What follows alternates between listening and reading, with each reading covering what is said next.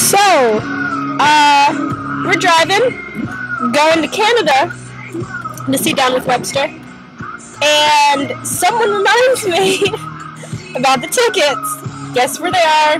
On the fridge. And guess where we are? On the side of the road, waiting for my mom to bring the tickets. Which will take an hour. So now we're an hour behind schedule. Cool. and I still have to shower. Cool. Um. We even left early. Yeah, we. Believe it or not.